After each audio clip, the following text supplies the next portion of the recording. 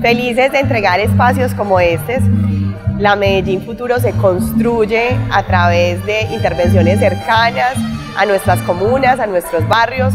Nos hemos caracterizado por llevar parques donde más se requieren o por lo menos intervenir de forma integral estos espacios. Hoy estamos en La Floresta, un parque que necesitaba una renovación integral como la que estamos entregando ahora y que además estamos felices con la apropiación que estamos teniendo.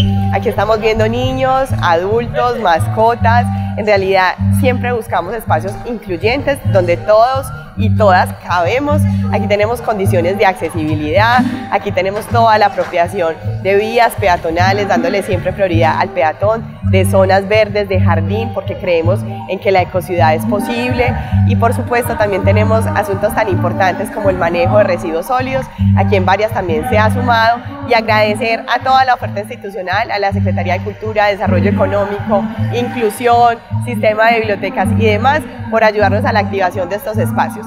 Hoy la infraestructura es una excusa para que llegue toda esa oferta de servicios y cultural y que siempre esté activo este parque.